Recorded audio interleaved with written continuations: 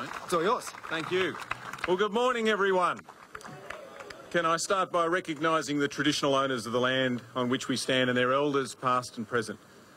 My job today is to introduce the Leader of the Opposition, Bill Shorten. But before I do, I've got a few apologies I have to give. The first is Christopher Pyne. Christopher says he's busy. He's reading all the comments that have been made on his petition. And I, I, hope he reads this one from James that says, Christopher, you're pathetic and this petition is pointless. well, we never know. Malcolm Turnbull's an apology as well. He really doesn't want to be here. And Tony Abbott is an apology as well. There's no way in the world he'd be here. Because it's no secret that there are a lot of Liberal and National MPs up there in that building who don't like the ABC very much.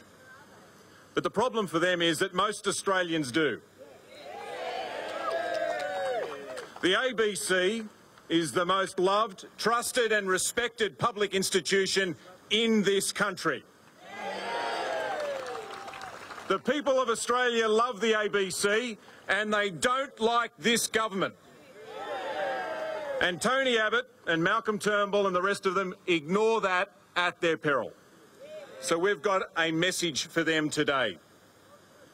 The Labor Party will fight you on this and the Labor Party will fight to protect and support the ABC. And from this day until the election, we'll remind all Australians that this is a Prime Minister who can't be trusted.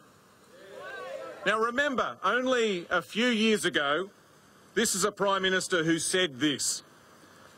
It's an absolute principle of democracy that governments should not and must not say one thing before an election and do the opposite afterwards. The night before the election, the Prime Minister looked the people of Australia in the eye and he lied. You know what he said. No cuts to health, no cuts to education, no changes to the pension, no changes to the GST, and no cuts to the ABC or SBS. He lied to the Australian people. He looked them in the eye and he lied. It was a bold-faced lie, and they're still lying to the people of Australia now. In question time yesterday, they're still denying that they're breaking any promises. Australians hate people lying. There's one thing they hate even more than that, and it's people lying about lying. And that's what's happening now.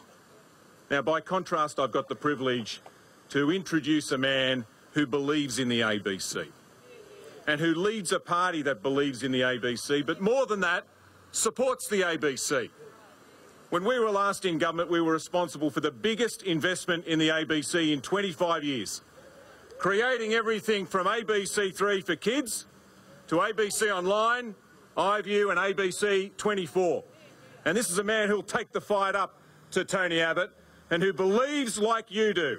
No ifs, no buts, no ABC cuts. Please welcome Bill Shorten.